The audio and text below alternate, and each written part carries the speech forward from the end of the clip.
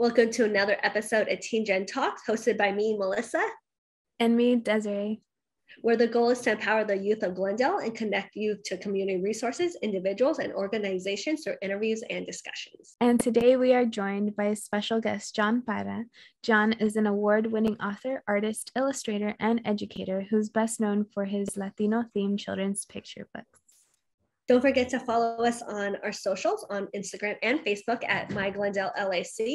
Don't forget to also listen to us on Spotify or Apple or wherever you listen to your podcasts. Also, make sure to give us a like and subscribe to the YouTube channel Glendale Library Arts and Culture, where we post full videos every Friday at 4:30 p.m. Thank you, John, for taking the time your day to talk with us. We have a lot to discuss. Thank you. So, to start off the interview, I want to take it back to when you first fell in love with art itself. Um, did you have any early influences, or was it just something you naturally gravitated towards? Um, well, I mean, there were definitely early influences. Um, I would say one of the, the biggest ones was my father. My father was an amateur artist who used to draw for my brothers and I when we were kids and we used to get so excited to see him you know he, and he would tell stories like of his time when he was in the army or when he was young. And um, so they were really as, as a kid just seeing somebody draw was exciting. And um, and also you know we used to my mom would take us to the library and the art museum at a very early age and the natural history museum. And and all those things were very creative um, to me, and I, I, really got a lot of inspiration from it, especially at the at the library. And I would be, I remember checking out a lot of picture books and looking at the artwork in those books and getting really excited about it. Um, and just it just seeing, you know, just seeing the visuals because I'm a very visual person. I think visually, hmm. language, mm, pretty good. like, but like image wise, art wise, pictures, I, I just gravitated toward that the most. So I think those were like probably the earliest influences that I had about about art, and of course movies and TV and things like that. Do you remember specifically when you decided that you actually wanted to become an artist? Yes, I even remember where I was. well, I mean, no, it was actually a, a very important part of my life, and um, so what I was, I was actually, I was kind of older. Like I always loved doing art growing up, and uh, I was always, you know, drawing and drawing, and I was sort of the artist in the class. And then, um, you know, I kept doing taking art classes, and it wasn't until junior college um, I was starting to think, you know, maybe I should start thinking about a career, you know, and what mm-hmm.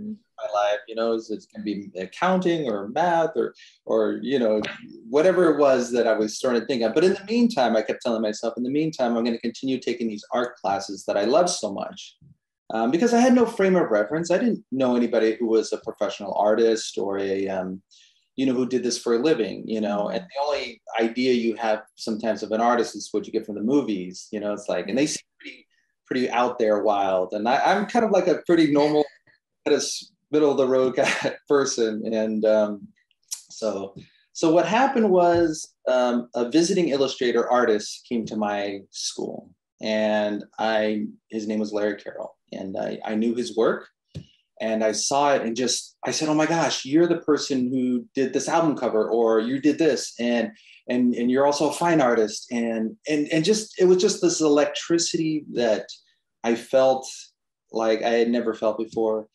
and and from that moment, um, you know, we after the introduction, my teacher, you know, obviously wanted me to continue with art so he kind of like connected us uh, even further. So he actually became my mentor for about a year and a half, and um, to get my portfolio ready to go to art school because I didn't have any money. I was working for my father, and we were kind of a, you know, we're at that time we didn't have a lot, and it was um, I was working, I was going to school, and and you know it just didn't seem like a feasible thing to to do. And so so, but when I when he became my mentor, I remember standing in his living room and he said, Okay, John, we're going to start working on your portfolio. We're going to start getting you ready to get a scholarship. The whole goal was to get a scholarship to go to art school. But I remember when he said it like to me, I remember thinking, this is this is more than just art school. This is this is mm-hmm. going to be the road for the rest of my life. This is, and I remember just standing there thinking that to myself. this is it. This is my this is the decision I'm making, and I'm gonna go for it. And I'm gonna go for it. So that was that was a while ago. but yeah, I just kind of stuck down that path ever since. You know, thankfully those guys were amazing teachers and, and mentors, and yeah. So that and that's also also why I like to go to schools and do school visits and, mm-hmm. and talk to you know and, and do interviews and, and talk with young people and, and older people in all ages because i want i want to see you know i want to tell them you know what's possible. It's like if you have ideas and, and what you think about and, and and give them those ideas like i had that idea of, of following that dream and those paths. So i if i can do that for somebody that was that's kind of like how i how i see it now. Yeah so, you are best known for your Latino themed children's picture books. What visual influences inspired you when you were growing up that then translated into your books?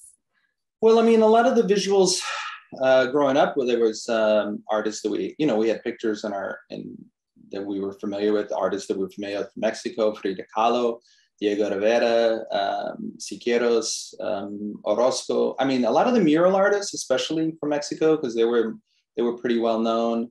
Um, but also, also the folk art. I mean, you think of like uh, Mexico is very, you know, especially in, in Mexico, you see the, a lot of the, the, the masks that you see, the carvings.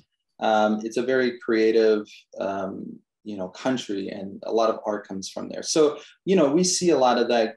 We saw a lot of that, experienced a lot of that growing up. I'm also, you know, I'm also influenced by music and dance mm-hmm. and poetry and books and reading, and so those are also things that will inspire your creativity and I think get you, you know, just just kind of like in a creative mindset to think about things and and how to to do art. And, and it, it's it's sort of they influence each other. So it's more than just maybe a picture or a painter or an artist. There's there are many levels to it so. How has the journey been in the world of children's publishing for been for you? Uh, well it's been very exciting it's uh, no, I mean, I started doing children's publishing about, okay, I've been a professional illustrator for about 25, 25 years. And then I started doing children's books around 2004. And I had no idea what I was doing. I was kind of a, still a struggling artist trying to make my way. And I moved to New York and I was trying to get work. And then somebody, you know, because my, my work has, you know, it's very colorful, sort of family, kids in the picture oriented type work and and so then a small publisher saw it and they said um, if I'd be interested, and that was for uh, Luna Rising Publishing, and then they said uh, we have this story. Would you would you consider it? And I, I said, yeah, I'll take it. You know, I need, needed the job. And, uh, and it was a great story. And it was written by Monica Brown, who's, who's a wonderful author, an extremely talented, wonderful author. And she's written many, many award-winning books and very successful. But at the time we were both sort of starting out. And um, so I worked on it. The book was called My Name is Gabriela. And it has to do with a, a poet, a real life person. Her name was Gabriela Mistral. She was a poet from Chile who was one of the first person to win the Nobel Prize for Literature for her poetry in Latin America. And uh, so that's it was very inspiring, and I really liked it because it kind of um, uh, I mean I, I I like that I could work on projects that I myself as an adult can enjoy, but also children can enjoy. You know, there's that sort of balance you're always trying to work when you're working on a children's book. I want it to be as interesting for the adults as it is for the kids, you know, and mixing those two things together. Because a lot of times it's the parents who buy the books and read it to the kids. And I want to make sure it's, in, you know, that they're in having fun as mm-hmm. well. And mm-hmm. so, so I, a lot of the books I work on are biographies and um, which is, which is fun. And, um, but it's, so, so that's, that was my first book. So the first three books I did, um, I thought I was just turning in illustration assignments, you know, because uh, that's kind of what I was used to doing as an illustrator.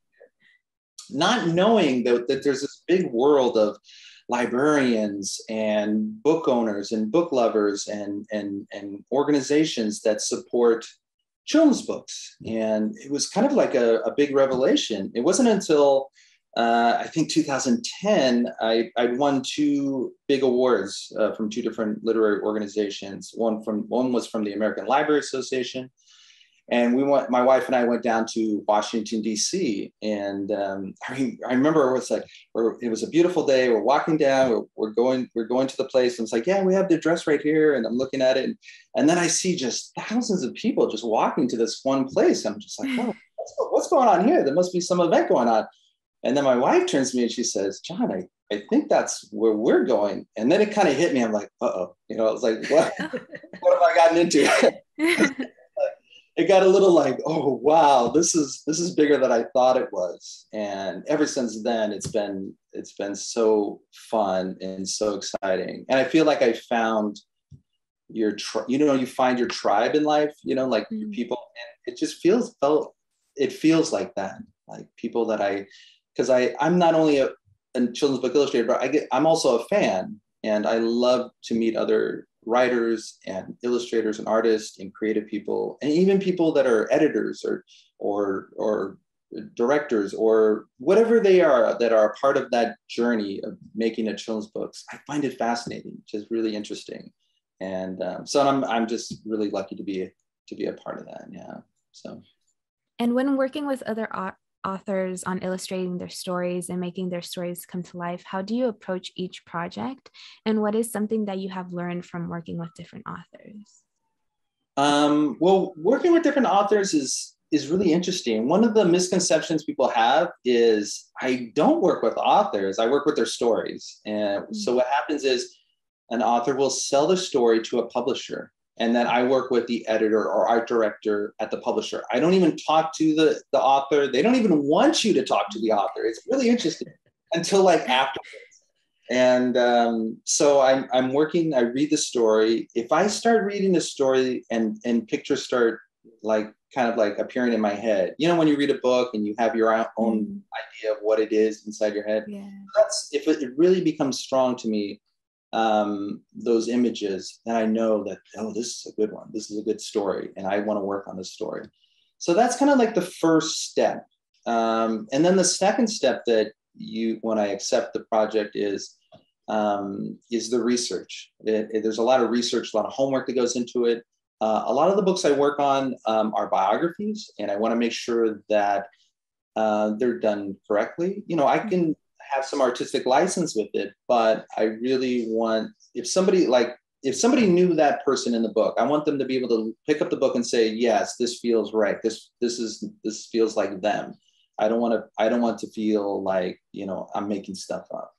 And there's a whole list of things I'll go through. Um, as I mentioned earlier, I'll, I'll look at, you know, photos, pictures, uh, I'll look at where they lived. What's the, uh, the, geography, the climate, what kind of food they eat, uh, the music that they have, the clothes, obviously, that they dress in, um, the plants. I, I'm very, I like all the details that relate to the story that may not even show up in the story, but I just want to be influenced. Uh, other artists, regional artists from that area, um, I'll look at those people because a lot of folk artists, especially from from an area, will sort of indicate um, or refer to the the project I'm working on. And I like that. I like those those little those little nice little things. And then so from that I work on the sketches. Uh, and then once the sketches are approved, I go to painting. Um, and I kind of work in a bit of a half painting, half computer now.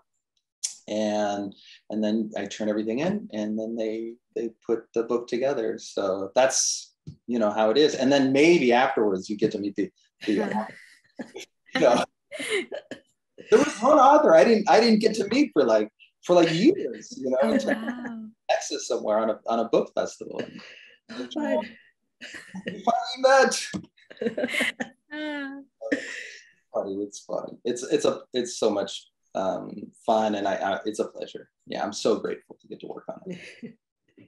What's like your normal time frame for um, you know once you accept that you want to be the illustrator to the end goal or uh, it takes a while. Um, usually, when I ask this, the kids in school, they're really funny because they say, "I go, how long does it take me to do one picture book?" You think? And they raise their hands. They go, "One hour, one week, one month." You know, like, well, actually, it takes me about six to eight months. You know, so if you're starting the third grade, you know, by the time like you finish, this is like one book for me.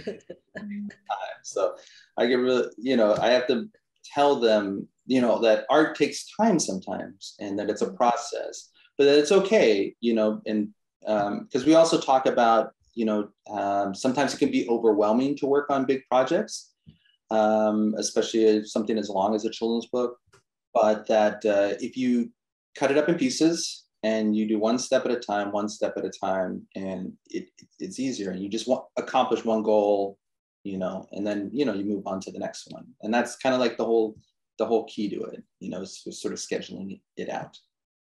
Um, in your interview with Publishers Weekly, you mentioned how when attending Moorpark Community College, you started to doubt yourself and wondered, what are you doing with your life? Um, how did you get over that hurdle of self doubt? And how did you, um, yeah, how did you overcome that? Oh my gosh. Well i mean it, it, was it was i was young. I mean you know it, it, was again i didn't know i was going to be what i'm doing today. I didn't know. I just knew that i liked art. And I, again i just wanted to see. And if it wasn't for you know the visiting artists coming in and kind of giving me directions and having a mentor having teachers that sort of looked out for me it was it was a scary time you know because you don't know. And it was really important to me that i wanted to do something like that. I felt fulfilled, that I had a purpose, like in life, kind of a thing. Um, and you know, and you don't know what's going to happen, especially when you're just starting out. Uh, I think if I have any success at this, it's just that persistence. You know, not everything you do, even things that you like, are going to work out. And but that's okay. You know, you sort of learn from them and you kind of make adjustments and you go, okay, that didn't work what about this way? And so now it's like it just it's just become more um, you know second nature. You just go okay that didn't work as, as well as i thought or you know it, it worked pretty good but not as quite. And then you sort of refocus you know back up a little bit and then go in this direction and see how that works. So whether if so if i had self-doubt about it i, I was very fortunate to just it, i didn't let it keep me down for too long you know and believe me there were setbacks along the way of like you know john like even when i i, I applied to art school the first two times i was told mm, your portfolio is not that good. And even in art school i wasn't the best art student. I wasn't the best art student. There were other students that were better than me. And you have to kind of keep that in mind. It's not a it's not a race it's not a competition with others. It's a competition with yourself to do the best that you can do and to be the best that you can be. And then eventually, uh, people will start to see that. And I think um, that's that's I think the important to remember. You know, when you're when you're working in this field. What is a piece of advice that you would give aspiring artists, authors, and illustrators? Uh, I would say um, again, hone your craft. Know really work hard at being you know being knowing your materials, working really good I had a teacher once tell me that uh, know the rules so you can break the rules, which I, I think is a Picasso quote, but uh, he sort of always loved to say it in class. He says, so learn all the rules so you can break them. Um, there was a point in my career where it was happened at one of my at, at the very end of art school. And what happens is I, I knew everything I, I or as much as I wanted to learn about the craft of making art. But I then I had to ask myself, what kind of art do I want to make?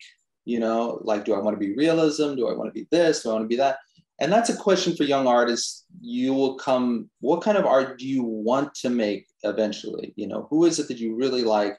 What's, is there a style? Is there a thing that's passionate about? Um, you know, I love my background. I love my family, my, especially, you know, a lot of the Latino roots that I, I kind of grew up with uh, in my family and which was food, music, you know the the costumes the dress the art everything which also influence and and then take all those things that you care about um, and make it and make it put it into your art. And you'll feel so alive when you're working on art. And, th- and that was like a game changer for me. And it also this happened after a conversation i had with a, a fine artist from east of los angeles uh, Salomón Huerta and um, and so he was we were talking about his presentation uh, and what influenced him. And and so that's how i got the idea. And so from that moment on it was just like you know that was where my direction was going. But i was a little aimless before before that that moment. So again if you're a young artist think about the things you care about the most and how maybe that could relate to your art and and and, and what you do I also want to talk about your collaboration with the United States Postal Service's stamp program, in which they issued a set of Delicioso Forever stamps devoted to Latin cuisine. And you created six amazing stamps that represented the Latin cuisine really well. Um, how did the opportunity arise, and what was it like working on a project like that? Oh my God, it was a dream come true. It was fascinating. It was like like I, I, had dreamed that you know like one day i would do a, stamp let alone six. It's it was uh, a lot of fun. Um, the choice I, I didn't reach out to them. They actually reached out to me. It was really it's sort of an interesting story. So the selection for stamps starts with a committee uh, with the postal service committee. And it's sort of a group of members that are sort of you know representative of the united states i guess. And they they come in and they they decide for the the coming years what stamps will be selected and what the themes will be.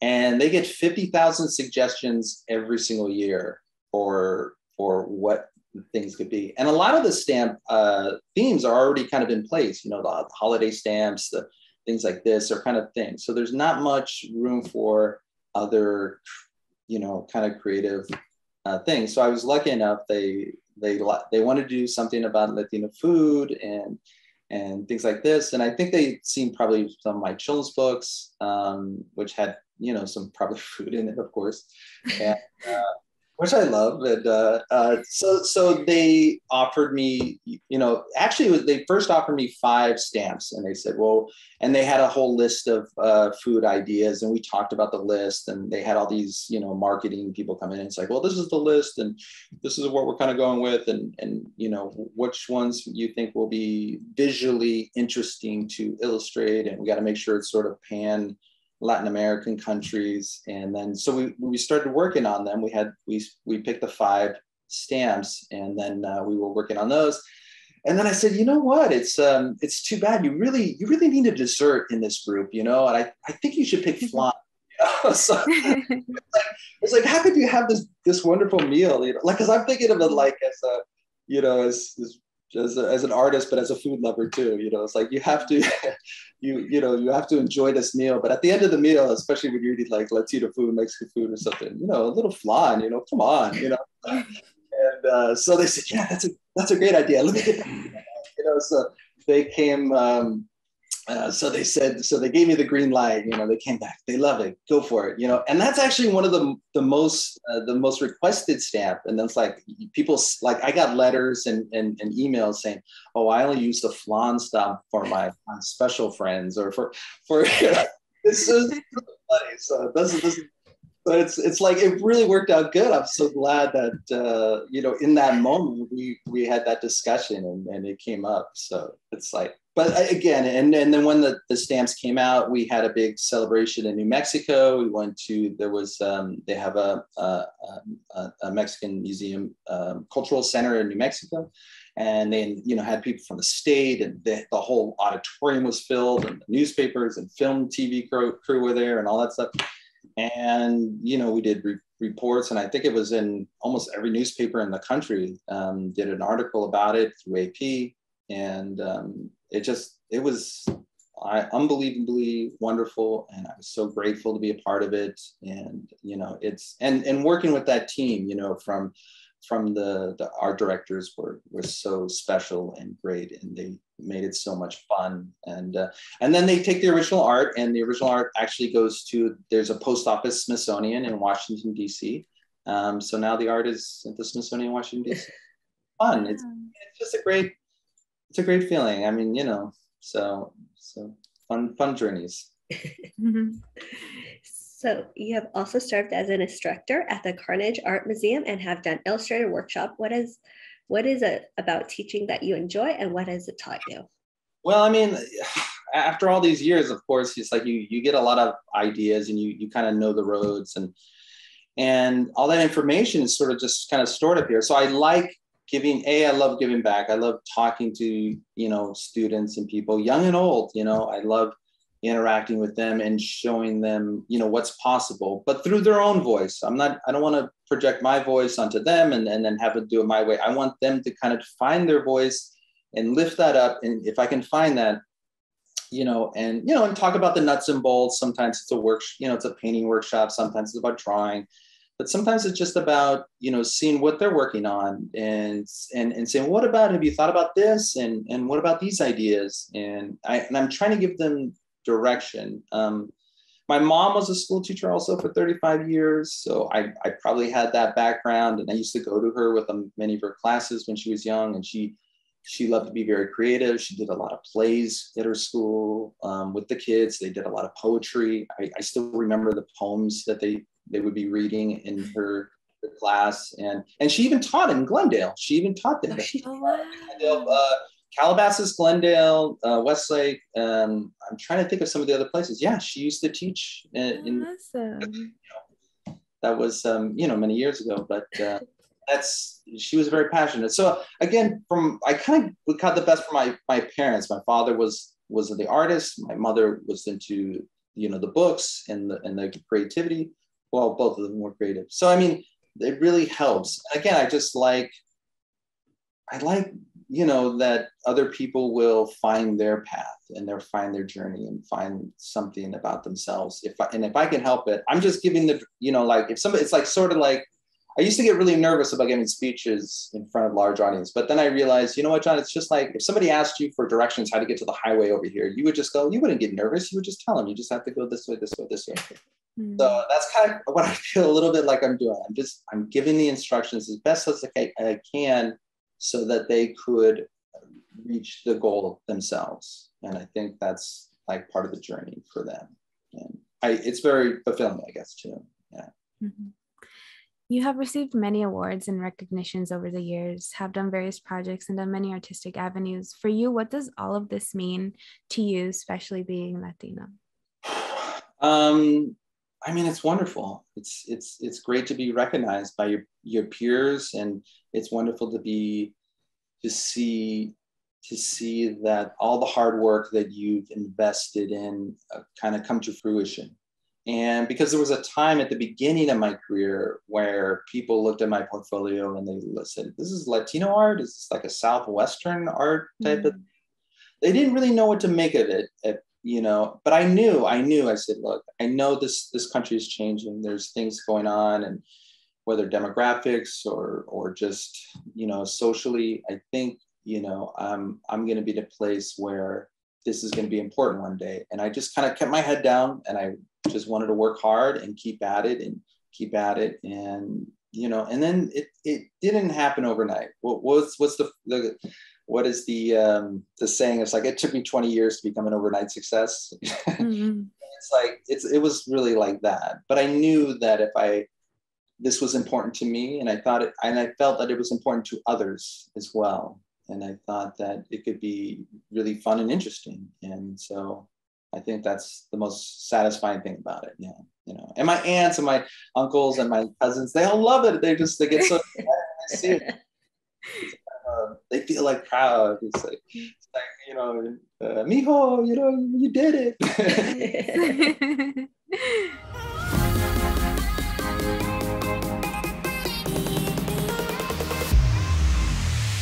So before we end, we have some rapid fire questions. The first question is What is your favorite color? Green. When are you the happiest?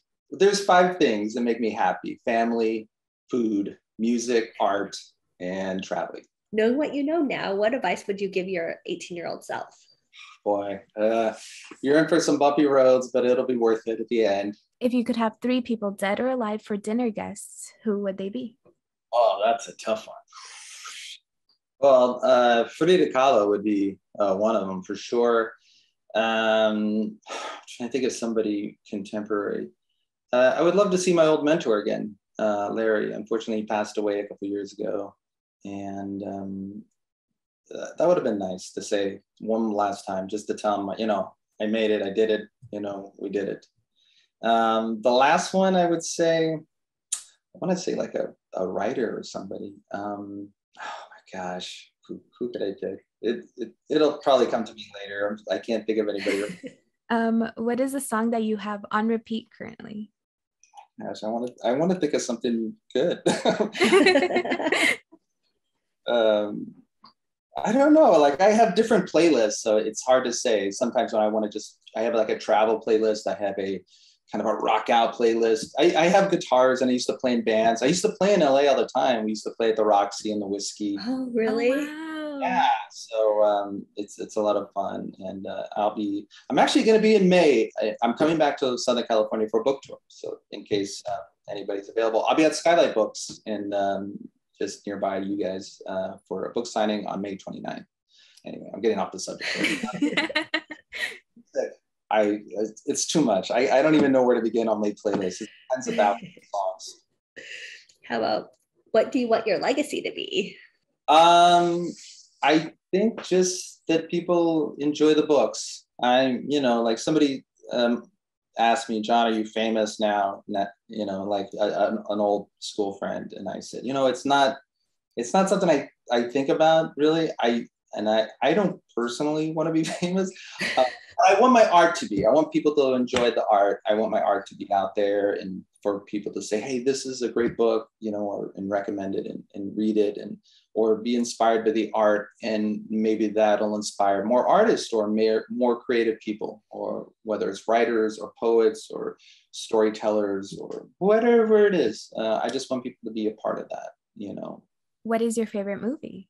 I'm going to say uh, my favorite movie, uh, well, there's several favorite movies. There's one, um, um, as far as comedies go, I really like Nacho Libre a lot. I've seen that a million times, especially with our, you know, with my nieces and nephews and granddaughters. So we, we have a lot of fun with that one. Um, uh, and there's some funny other uh, family stories around that. But um, so Nacho Libre comedies, um, I'm trying to think of other really wonderful. I love a lot of um, the new animation uh, work that's been done. Maya and the Three. I don't know. There's a new Netflix series called Maya and the Three um, by Jorge Gutierrez and his wife uh, Sandra. Um, they're incredible um, artists, and, and so I love what they're doing with the with the work um, taking Latino idea, you know, storytelling and giving it to a new generation. I think that's fascinating. Um, um, other TV movies. Uh, I like old, old, TV shows, old movies a lot because I, I, used my dad used to love old movies. Um, a lot of things, just comedies, fun, fun stuff, happy stuff. All documentaries, you know, just it just depends. Um, I also like uh, detective shows. What is a book that you have recently read or are currently reading that you would recommend? Uh, I had to put this list together because there was a actually. Um, well, I'm reading two books on bi- biographies about comedians right now simultaneously. I'm reading one about Jay Leno and one about Jimmy Carr. Um, because sort of like uh, it's, it's interesting because like the, the, sort of the the journey to get to where they wanted to get to similar to an artist you know well i mean because they are artists you know like people who do they're you know whether an actor or a writer it's a very similar journey. And they're and you, you kind of learn from other people's stories about oh that's how they you know got there. And again it always reminds me of my journey about persistence. If you want to be if you want to get somewhere sometimes not necessarily you have to be the best at it. You just have to be the best you can be at you and being persistent. It's just that it takes time sometimes uh, so those two biographies. Um, I also a couple children's books, uh, Gustavo and the Shy Ghost um, by Flavia Drago, um, Merci Suarez Can't Dance by Meg Medina, On the Road with Jack Kerouac, um, The Runaway Species: How Human Creativity Remakes the World, How Human Creativity Remakes the World by David Eagleman and Anthony Brandt, uh, and Angel Thieves by uh, Kathi Appelt. Um, so yeah, so those are the books I've read this year, and um, yeah, I, I, love reading. I'm, i try to get as much as I can. So, and also, um, if I, if I can, I, I have a new book coming out. It's called Growing an Artist, um, and it's a I, it's one I wrote. So this is kind of a, a very special book, and it's coming out next month. And this is kind of like the book tour that I'll be in Southern California for. And I wrote it, and it's about my father, who was a landscaper contractor, and that's me as a little boy. And it's called Growing an Artist. So I'm the little boy in the story, and it's really, it's it means the world to me. The story, and um, I really work a lot on it. so kind of like a, it, this has kind of come full circle now because now I'm the writer and it's about I'm really taking everything that I've learned about art and about storytelling and about books and about my family and my background and my culture and everything and I've mm-hmm. really into this story, you know, and, and I, I wanted of course make it is it had to be interesting and entertaining for for readers. I didn't want it to be you know too self, you know. yeah. I want it to be like a story, like a regular story would be. But it's it's an, an important story, I think, because it talks about some of the things we're discussing, you know, today about how being creative and those paths that you choose and how to feed your creativity and how to work at something and and, and you know it comes early on, in life sometimes but you can find it you know no matter what age you are you can find that path and just continue down it and have is and have fun with it. Because you got to be you have to be in that moment. You, you know don't live for what's going to happen next year. Oh i'll be happy next mm. year when I, this happens. I'll be happy you know this no just you enjoy the journey. That's the whole thing you know. You can't because you, you, don't always can predict what's going to happen. You can work at it you can plan at something but in the end there are it'll just sort of organically kind of take a life of its own and you kind of have to follow it sometimes um, but it's just the day-to-day journey and you have to enjoy and i think that's important to remember well, thank you so much, John. We learned a lot about you. Thank you for taking your time out of your day to sit down with us and talk. Can you let everyone at home know about any upcoming projects and where they could connect with you? Um, well, again, it just if you want to visit my website, it's johnparraart.com. Um, again, my my new book that's coming out, uh, Growing an Artist. It's also going to be available in Spanish too. So if um, Latino uh, readers out there uh, can grab it. And uh, again, I'll be doing um, book signings here in, on the East Coast in New York, um, but also in Southern California, in San Diego, Los Angeles, and then in Thousand Oaks. So hopefully, I will see you there you can see the dates on my website and I'll post more things online in media uh, pretty soon. So those are the things I'm working on. I'm also working, just finishing up another book that has to do with a Spanish spelling bee.